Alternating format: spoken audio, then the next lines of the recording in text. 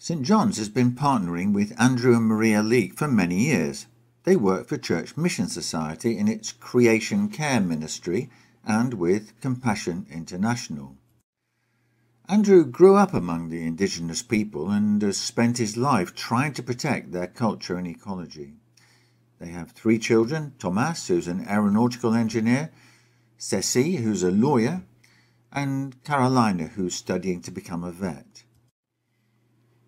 Unlike us, who have documents to show we own or lease our homes, communities in this region have no papers showing that they've lived there for centuries. They've spent years talking to the government about the land they believe is rightly theirs. Without it, they're unable to gather food or natural medicines from the forest because areas have been fenced off by logging and mining companies, and they can't fish because rivers have been polluted by cattle. Earlier this year, with Andrew's help, Francisco Perez and Rogelio Segundo represented these communities at the Inter American Court of Human Rights and finally won a legal battle that's been going on for 22 years. The Argentine government must now grant land rights to an area of forest the size of Sussex. It's about 1,500 square miles. But stopping illegal logging remains a real issue. These loggers use enormous machines that devastate the tropical forest forever. This Google Earth video shows how our forests are being lost.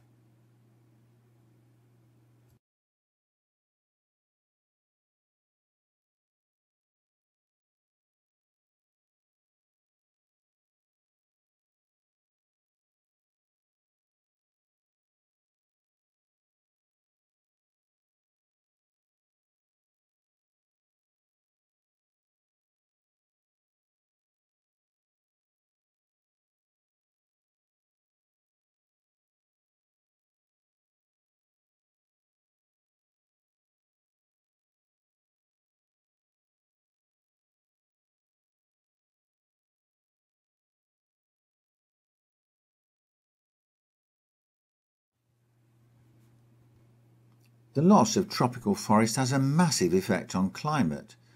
To stop a global temperature rise of more than 1.5 degrees centigrade, deforestation needs not only to be stopped in Argentina, but around the world by 2030. That's less than 10 years.